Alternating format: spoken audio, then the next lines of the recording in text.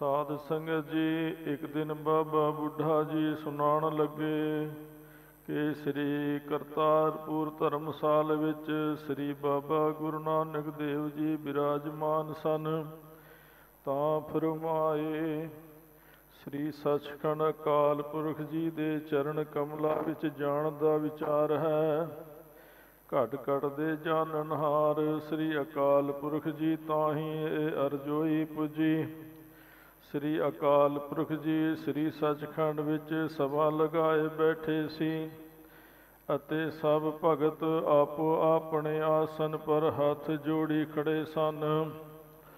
ਤਾਂ ਸ੍ਰੀ ਅਕਾਲ ਪੁਰਖ ਜੀ ਨੇ ਫਰਮਾਏ, ਸੁਣੋ ਭਗਤੋ, ਜੋ ਨਾਨਕ ਭਗਤ ਮੇਰਾ ਪਰਮ ਪਿਆਰਾ ਹੈ, ਸੋ ਉਹ ਮੇਰੇ ਕੋਲ ਲੋਕ ਤਾਈ ਆਉਣਾ ਚਾਹਤਾ ਹੈ।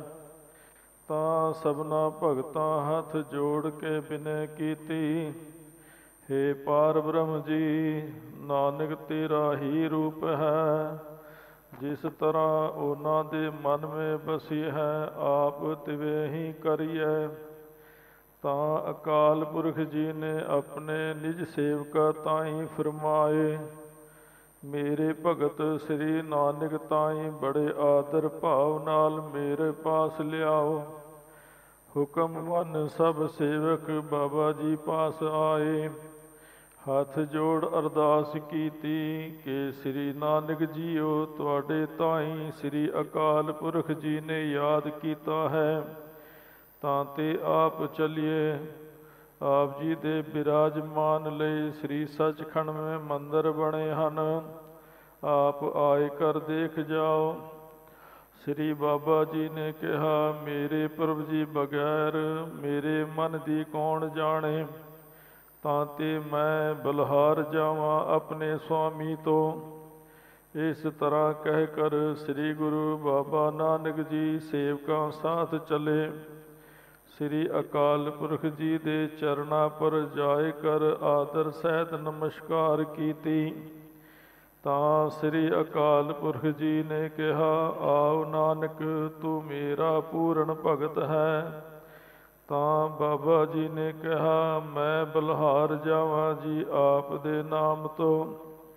ਜੋ ਸੇਵਕ ਤਾਈ ਨਿਵਾਜਿਆ ਹੈ, ਅਕਾਲ ਪੁਰਖ ਬਾਚ ਤਾਂ ਫਿਰ ਸ੍ਰੀ ਅਕਾਲ ਪੁਰਖ ਜੀ ਨੇ ਕਿਹਾ, ਨਾਨਕ ਤੁਸਾਂ ਅੰਗਤ ਕੋਹੀ ਉਪਦੇਸ਼ ਦੇਵਨਾ ਕੇ ਸਭ ਸੰਸਾਰ ਤਾਈ ਮੇਰੇ ਨਾਮ ਨਾਲ ਲਾਉਣਾ। ਜੋ ਪ੍ਰਾਨੀ ਤੁਹਾਡੇ ਬਚਨਾ ਤਾਈ ਸੁਨੇਗਾ ਅਤੇ ਕਮਾਵੇਗਾ, ਮੈਂ ਤਿਸ ਤਾਈ ਆਪਣੇ ਬੈਕੁੰਠ ਵਿੱਚ ਨਿਵਾਸ ਦੇਵਾਂਗਾ। ਸ੍ਰੀ ਅਕਾਲ ਪੁਰਖ ਜੀ ਦਾ ਹੁਕਮ ਮੰਨ, ਸ੍ਰੀ ਬਾਬਾ ਜੀ ਵਾਪਸ ਮਾਤ ਲੋਕ ਵਿੱਚ ਆਏ ਕੇ, ਸ੍ਰੀ ਅੰਗਦ ਕੋ ਸਦਾਇ ਕਰ ਸਭ ਉਪਦੇਸ਼, ਜੋ ਸ੍ਰੀ ਅਕਾਲ ਪੁਰਖ ਜੀ ਨੇ ਫਰਮਾਏ ਸੀ, ਬਤਾਏ ਦਿਏ।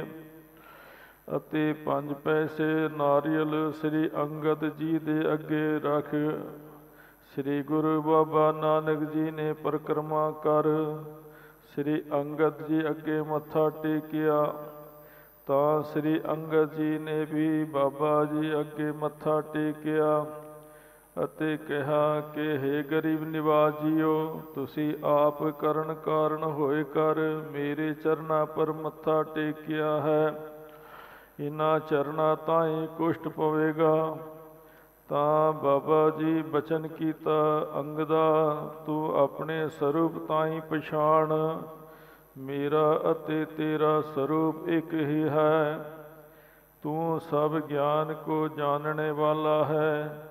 ਫਿਰ ਬਾਬਾ ਜੀ ਨੇ ਸ੍ਰੀ ਗੁਰੂ ਅੰਗਦ ਸਾਹਿਬ ਜੀ ਤਾਈ ਆਪਣੇ ਗਲੇ ਲਗਾਏ, ਆਪਣੇ ਸਿੰਘਾਸਨ ਪਰ ਬੈਠਾਏ ਅਤੇ ਸਰਬਤ ਸੰਗਤ ਤਾਈ ਫਰਮਾਏ ਕੇ ਇਨਾ ਅੱਗੇ ਮੱਥਾ ਟੇਕੋ ਇਨਾ ਤਾਈ ਮੇਰਾ ਰੂਪ ਹੀ ਜਾਣਨਾ ਤਾਂ ਫਿਰ ਸਪੁੱਤਰਾ ਤਾਈ ਸੱਦਿਆ ਉਹਨਾਂ ਆਉਣ ਵਿੱਚ ਢਿੱਲ ਕੀਤੀ। ਥੋੜੀ ਦੇਰ ਬਾਅਦ ਬਾਬਾ ਜੀ ਨੇ ਸ੍ਰੀ ਬੁੱਢਾ ਜੀ ਪਾਸੋਂ ਸ੍ਰੀ ਅੰਗਦ ਜੀ ਦੇ ਮਸਤਕ ਵਿੱਚ ਤਿਲਕ ਲਗਵਾਏ ਅਤੇ ਫਰਮਾਏ ਕਿ ਆਪ ਖਡੂਰ ਮੇ ਚਲੇ ਜਾਓ। ਇਸ ਜਗ੍ਹਾ ਆਪ ਦਾ ਰਹਿਣਾ ਯੋਗ ਨਹੀਂ।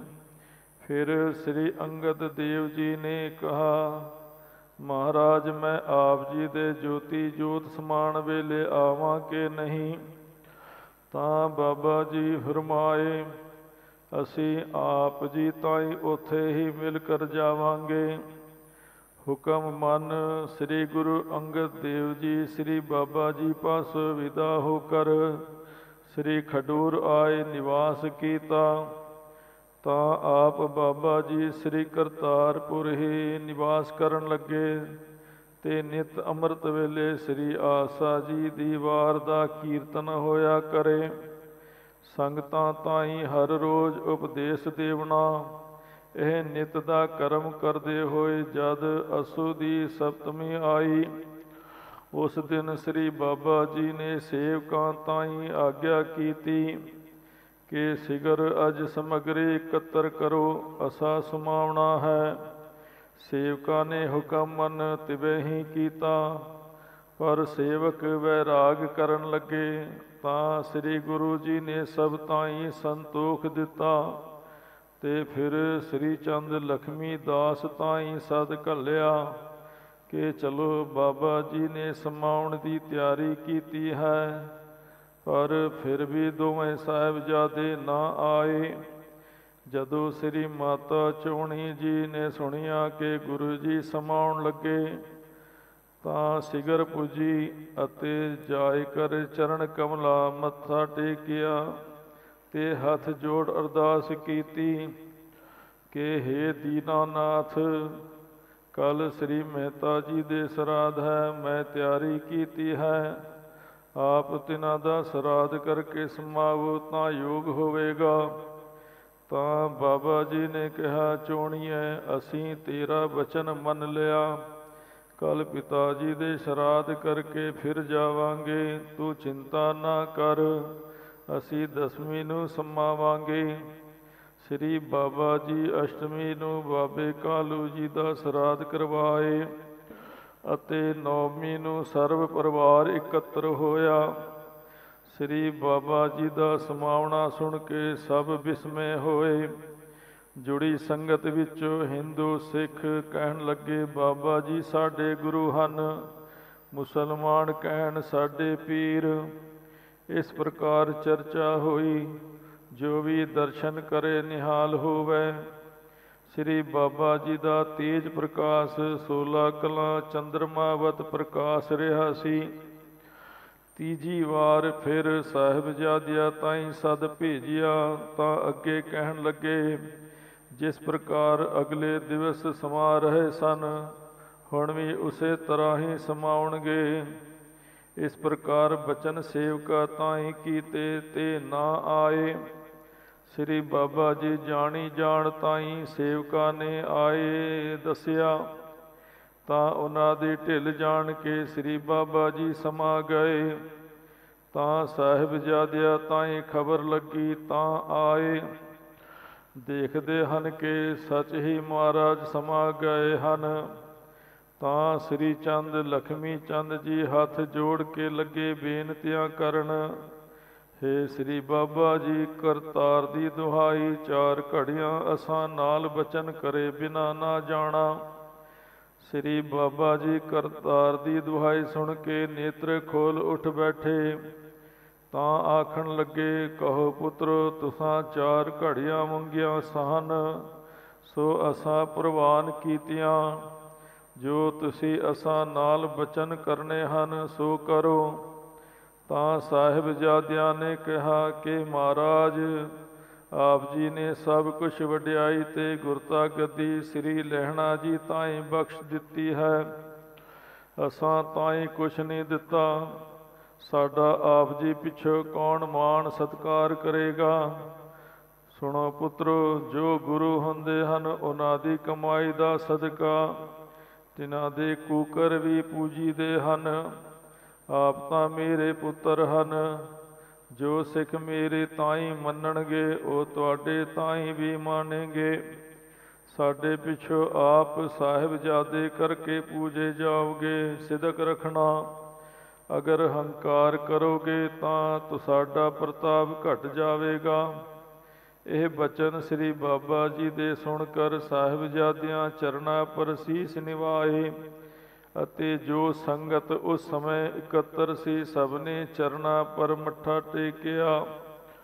ਤੇ ਸਮੇਂ ਜਿਸ ਜਿਸ ਗੁਰਸਿੱਖ ਨੇ ਦਰਸ਼ਨ ਕੀਤੇ, ਸਭ ਨਿਹਾਲ ਹੋਏ। ਤਾਂ ਉਸ ਵੇਲੇ ਬਾਬਾ ਬੁੱਢਾ ਜੀ ਨੇ ਕਿਹਾ, ਹੈ ਸੱਚੇ ਪਾਤਸ਼ਾਹ, ਆਪ ਕਰਨ ਕਾਰਨ ਸਰਬ ਸ਼ਕਤੀਮਾਨ ਹੋ। ਜੋ ਆਪ ਸਿੱਖਾ ਤਾਈ ਸਤਨਾਮ ਦਾ ਉਪਦੇਸ਼ ਦਿੰਦੇ ਰਹੇ ਤਾਂ ਤੇ ਇਸ ਨਾਮ ਦਾ ਮਹਾਤਮ ਕਿਰਪਾ ਕਰਕੇ ਕਹੋ ਜੀ। ਗੁਰੂ ਜੀ ਕਹਾ, ਬੁੱਢਾ ਜੀ, ਜੈਸੇ ਸ੍ਰੀ ਪਰਮੇਸ਼ਰ ਜੀ ਅਗਾਧ ਹੈ, ਤੈਸੇ ਹੀ ਸ੍ਰੀ ਅਕਾਲ ਪੁਰਖ ਦਾ ਨਾਮ ਵੀ ਅਗਾਧ ਹੈ। ਤਾਂ ਤੇ ਸਮੇਂ ਸ੍ਰੀ ਬਾਬਾ ਜੀ ਪਦਮਾਸਨ ਬੈਠ ਕੇ ਸ੍ਰੀ ਵਾਹਿਗੁਰੂ ਜੀ ਦੇ ਨਾਮ ਦਾ ਮਹਾਤਮ ਦੱਸੇ ਕਿ ਸਤਜੁਗ ਮੇ ਵਾਸੁਦੇਵ ਰੂਪ ਧਾਰੇ ਤੇ ਦਵਾਪਰ ਜੁਗ ਮੇ ਕਿਸ਼ਨ ਹਰੀ ਰੂਪ ਹੋਏ। ਤ੍ਰੇਤਾ ਜੁਗ ਮੇ ਰਾਮਾ ਅਵਤਾਰ ਧਾਰੇ ਤੇ ਕਲ ਜੁਗ ਮੇ ਗੋਬਿੰਦ ਰੂਪ ਧਾਰਨ ਕੀਆ। ਹੇ ਬੁੱਢਾ ਜੀ, ਇਨ੍ਹਾਂ ਚੋਹਾਂ ਜੁਗਾਂ ਵਿੱਚ ਪਰਮੇਸ਼ਰ ਜੀ ਨੇ ਚਾਰ ਅਵਤਾਰ ਧਾਰੇ ਕੇ ਚਾਰ ਨਾਮ ਧਰਾਏ। ਅਬ ਉਨ ਚਾਰੋਂ ਨਾਮੋਂ ਮੈਂ ਇੱਕ ਇੱਕ ਅੱਖਰ ਲੇਕਰ ਸ੍ਰੀ ਵਾਹਿਗੁਰੂ, ਨਾਮ ਜੋ ਸ੍ਰੀ ਅਕਾਲ ਪੁਰਖ ਜੀ ਨੇ ਸਾਰੇ ਸੰਸਾਰ ਕੋ ਜਪਨੇ ਕਾ ਹੁਕਮ ਕੀਤਾ, ਜੋ ਇਸ ਵਾਹਿਗੁਰੂ ਨਾਮ ਕੋ ਜਪੇਗਾ, ਸੋ ਪਰਮੇਸ਼ਰ ਮੇ ਜਾਇ ਸਮਾਵੇਗਾ ਤੇ ਮੁਕਤ ਹੋਵੇਗਾ। ਇਸ ਪ੍ਰਕਾਰ ਉਪਦੇਸ਼ ਦਿੰਦੇ ਹੋਏ ਸ੍ਰੀ ਬਾਬਾ ਜੀ ਨੇ ਪਰਦਾ ਤਨਾਏ, ਸਭ ਸਮਗਰੀ ਪਾਸ ਰਖਾਏ ਲਈ। ਅਤੇ ਪ੍ਰਥਵੀ ਪਰ ਦੋਵੇਂ ਚਾਂਦਰਾ ਲੈ ਕੇ ਬਿਰਾਜੇ। ਹੁਕਮ ਫਰਮਾਏ, ਅੰਦਰ ਕੋਈ ਨਾ ਆਏ। ਜਾਂ ਇੱਕ ਪਹਿਰ ਰਾਤ ਰਹੀ, ਤਾਂ ਸ੍ਰੀ ਬਾਬਾ ਜੀ ਧਿਆਨ ਮੇ ਲੀਨ ਹੋ ਗਏ। ਤਾਂ ਸ੍ਰੀ ਨਿਰੰਕਾਰ ਸਰਬ ਘਟਾ ਕੇ ਜਾਣਨ ਹਾਰੇ। ਜੋਤੀ ਸਰੂਪ ਪਤਿਤ ਪਾਵਨ, ਗਰਦ ਦੀ ਅਸਵਾਰੀ ਚੜ ਆਏ। ਜਾਂ ਕਨਾਤ ਮੇ ਪਰਮੇਸ਼ ਹੋਏ, ਤਾਂ ਬੜਾ ਅਦਭੁਤ ਪ੍ਰਕਾਸ਼ ਹੁਆ। ਕੋਟ ਸੂਰਜ ਚੰਦਰਮਾ ਜੈਸਾ। ਬ੍ਰਹਮਾ ਵਿਸ਼ਨ ਮਹਿ ਸਭ 33 ਕਰੋੜ ਦੇਵਤੇ ਅਰ ਭਗਤ ਆਏ। ਜੈ ਜੈਕਾਰ ਦੀ ਧੁਨ ਤੇ ਨਾਨਾ ਪ੍ਰਕਾਰ ਤੇ ਵਜੰਤਰ ਲਗੇ ਵਜਾਣੇ। ਜਬ ਕਨਾਤ ਮੇ ਜੈ ਜੈ ਕੀ ਧੁਨ ਹੋਈ ਤਾਂ ਸ੍ਰੀ ਬਾਬਾ ਦਾ ਧਿਆਨ ਖੁੱਲਿਆ ਅਤੇ ਸ੍ਰੀ ਨਿਰੰਕਾਰ ਜੀ ਸਨਮੁਖ ਦੀਦਾਰ ਹੋਏ ਤੇ ਸਮੇਂ ਚਰਨਾ ਪਰ ਨਮਸਕਾਰ ਕੀਤੀ, ਕਿਹਾ, ਮੈਂ ਬਲ ਜਾ, ਬਲਹਾਰ ਜਾਵਾਂ ਜੀ। ਮੇਰੇ ਪਰ ਆਪ ਅਤ ਕਿਰਪਾ ਕਰੀ, ਮੈਂ ਕੌਣ ਕੀਟ ਹਾਂ? ਤਾਂ ਸ੍ਰੀ ਨਿਰੰਕਾਰ ਜੀ ਨੇ ਕਿਹਾ, ਨਾਨਕ, ਤੇਰੀ ਭਗਤੀ ਤੇ ਮੈਂ ਬਹੁਤ ਪ੍ਰਸੰਨ ਹਾਂ। ਜੋ ਕੋਈ ਤੇਰਾ ਨਾਮ ਲਏਗਾ, ਉਸ ਜੀਵ ਤਾਈ ਮੈਂ ਆਪਣੇ ਲੋਕ ਮੇ ਵਾਸਾ ਦੇਵਾਂਗਾ। ਜੋ ਕੋਈ ਤੇਰੀ ਬਾਣੀ ਪੜੇ ਸੁਣੇਗਾ, ਸੋ ਮੁਕਤ ਹੋਵੇਗਾ। ਸ੍ਰੀ ਅਕਾਲ ਪੁਰਖ ਜੀ ਦੀ ਆਗਿਆ ਸਾਥ, ਸ੍ਰੀ ਗੁਰੂ ਜੀ ਦਾ ਜੋਤੀ ਜੋਤ ਸਮਾਉਣਾ ਹੋਇਆ। ਸੰਮਤ 1596 ਵਿਕਰਮੀ ਅਸੂਵਦੀ ਦਸਵੀਂ ਕੇ ਰੋਜ਼ ਅੰਮ੍ਰਿਤ ਵੇਲੇ ਪਹਿਰ ਰਾਤ ਰਹਿੰਦੀ, ਸ੍ਰੀ ਅਕਾਲ ਪੁਰਖ ਜੀ ਵਿੱਚ ਜੋਤੀ ਸਮਾਈ ਗੁਰਵਾਕ, ਜਿਉ ਜਲ ਮਹਿ ਜਲ ਆਏ ਖਟਾਨਾ, ਤਿਉ ਜੋਤੀ ਸੰਗ ਜੋਤ ਸਮਾਨਾ। ਬਾਬਾ ਜੀ ਦੇ ਜੋਤੀ ਜੋਤ ਸਮਾਨ ਪਿਛੋ, ਸ੍ਰੀ ਗੁਰੂ ਜੀ ਦੇ ਮੁਰੀਦ ਪਠਾਨ ਆਏ, ਤਿਨਾਂ ਆਖਿਆ, ਬਾਬਾ ਜੀ ਦੇ ਦੀਦਾਰ ਕਰਨੇ ਹਨ। ਤਾਂ ਸੇਵਕਾਂ ਨੇ ਕਿਹਾ, ਭਾਈ, ਹੁਣ ਤੁਹਾਡਾ ਸਮਾਂ ਨਹੀਂ। ਤਾਂ ਪਠਾਨਾਂ ਨੇ ਆਖਿਆ, ਸਾਡੇ ਪੀਰ ਹਨ, ਅਸੀਂ ਜਜ਼ੂਰ ਦੀਦਾਰ ਦੇ ਕਰਾਂਗੇ।